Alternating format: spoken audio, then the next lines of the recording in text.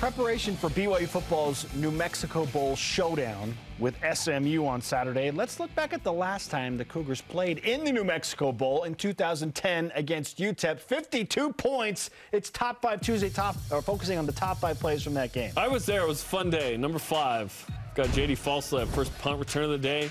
43 yards. Bryan Kariya would cap it off with the rushing touchdown, giving the Cougars a 7-0 lead. One of many scores that day, but JD getting it done, nearly getting the TD Uh-huh, uh-huh. as he crosses into uh, the other side of the field. Great field position.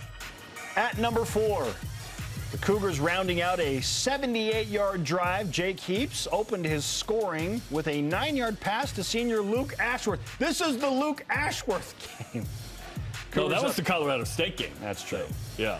Cougars up 14-0 in the first. Not bad. Number three, Cody Hoffman gets the second of three TDs that day, three yards out. Cougars up 31-3. Easy money. 31 to 3 at that point. We're not done. At number two, more Cody Hoffman. Heaps to Hoffman, breaking away from his defender. Feet in bounds, 31 yard touchdown grab. Good enough for a billboard. And the top play from the 2010 New Mexico Bowl, Jake Heaps finds Cody Hoffman for a third time, 29 yards. Boom goes the dynamite.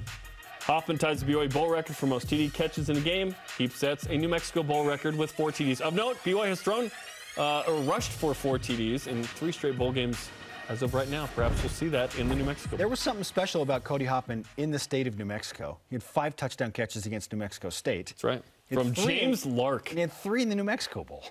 Eight touchdowns in that state. Should have played for New Mexico. All right.